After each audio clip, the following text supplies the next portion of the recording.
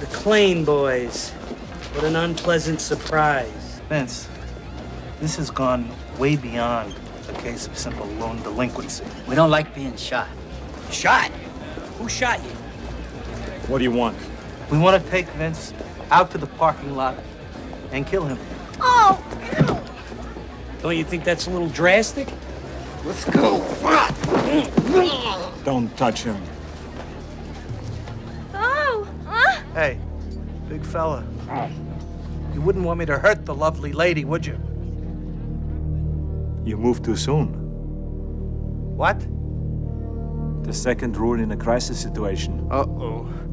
He's starting that funny talk again. If you choose to bluff, you must be prepared to have your bluff called. This is no bluff. These are my cousins, Sam and Dave. Get these jerks out of here. ah!